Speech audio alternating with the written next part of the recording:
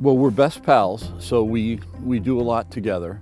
And he's a bit of an old soul in a puppy's body. Chicago is just over a year, uh, and he was born into a South Korean dog meat farm. Humane Society International reached out to the Potter League, asked if they would be willing to take some of the dogs. They said, of course. It's so heartwarming to see him actually have a chance at, at a good life. Well, I think animals are important to people. The connection we have to them is important, and the Potter League is here to support that connection. We want to promote the human animal bond and keep it together whenever possible. So, whenever we see if that bond is at risk of being broken, we want to be there to prevent that from happening. We want to educate people from the very beginning about how to have a successful relationship with people and animals and protect both of them. Our outreach is a really important part of what we try to do here at the shelter. And this year we really spent some time getting um, more organized and pinpointing the areas that we felt um, were most in need of our help. So the wellness clinics are something that we've set up for the local community where they bring in their pets and I do a free exam and uh, we give them vaccines and if there are any problems that we can't take care of here at the Potter League then we'll recommend that they go see a local veterinarian. The amount of animals that we are taking in and adopting out has increased significantly, and I think we're getting more efficient about getting it done. And I think having a veterinarian on site is a big part of that because we're not waiting for blood work results, we're not waiting for procedures to be done. We can get that all done very quickly, so we're able to process more animals, and I think that's a huge change. Some shelters wouldn't put the time and effort into an, a senior dog. They would probably put them down or euthanize them because they didn't have a chance, but they give them a chance here. And I love that.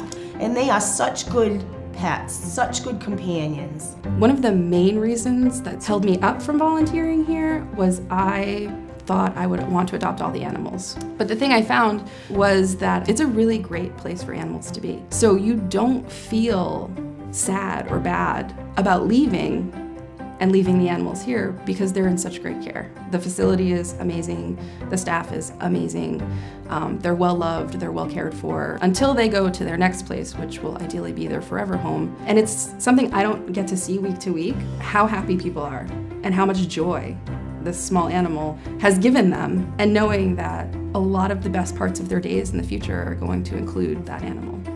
Always liked Abyssinian cats. So when we saw that Potter League had Abyssinian kittens there, we had to find out why. They were seized from a house in Newport, uh, which had uh, about 18 cats total from a horrible boarding situation. To be honest, it's something I don't I don't really like to think about too much from what we've seen and heard of the condition of the house, I mean, it was in complete squalor. I mean, the, the place was one big litter box. I just want to say thank you, really, to uh, to Potter League for the amazing work they've done with these cats, as well as everything else that they, they continue to do. I, I wouldn't have wanted to see those cats when they first came in, but to see them come out, um, they're, they're perfect. They're, they're absolutely perfect. I, I couldn't have picked three better cats for our family to, to have. I'm going to be 76 this year, and I have no intentions of retiring because I'm lucky enough to come to my job and enjoy my job.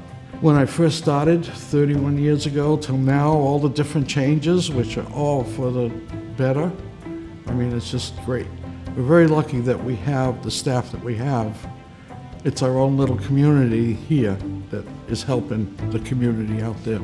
The community is always there for us. The animals keep us all together, to, trying to do this, the right thing for them and to help each other in the community.